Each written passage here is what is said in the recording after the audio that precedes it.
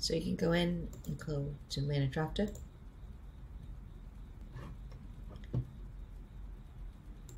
Filter by the creation date or filter for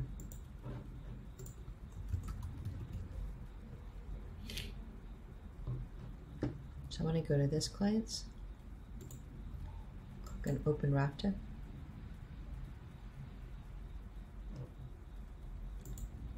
Now I can choose action and click on update boom. So let's say I forgot the G here.